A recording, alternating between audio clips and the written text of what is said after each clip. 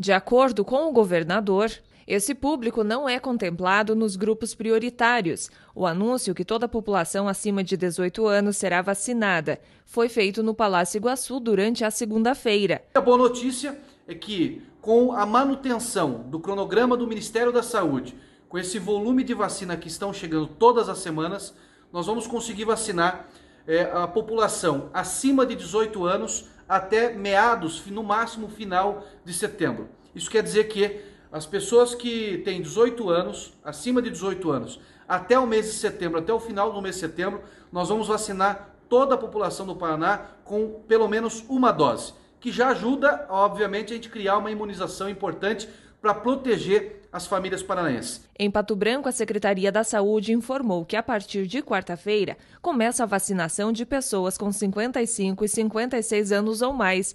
Pessoas nessa faixa etária que residem nos bairros deverão se dirigir às salas de vacina, que pertencem à região de cada um das 13 às 16h30.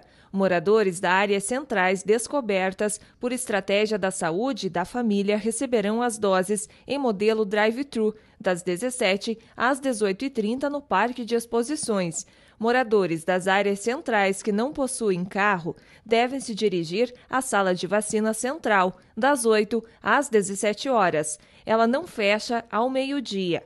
Os documentos obrigatórios são documento pessoal, carteira de vacina e comprovante de residência. E de acordo com uma nota técnica da Secretaria Estadual da Saúde, as gestantes e puérperas até 45 dias pós-parto sem comorbidades também serão contempladas nos grupos prioritários para a vacinação contra a Covid-19 e por isso recebem neste momento as doses. Sexta-feira foi emitida a nota técnica número 9 da Secretaria de Estado da Saúde de 2021, dizendo e, e afirmando a necessidade da vacinação das gestantes do Paraná com vacinas Coronavac e com vacinas Pfizer. É um acordo que nós fizemos com o Conselho de Secretários Municipais de Saúde do Paraná. A vacinação para gestantes e puérperas sem comorbidades começa a partir de quinta-feira, 17 de junho, em Pato Branco. Estamos liberando a vacinação das gestantes, desde que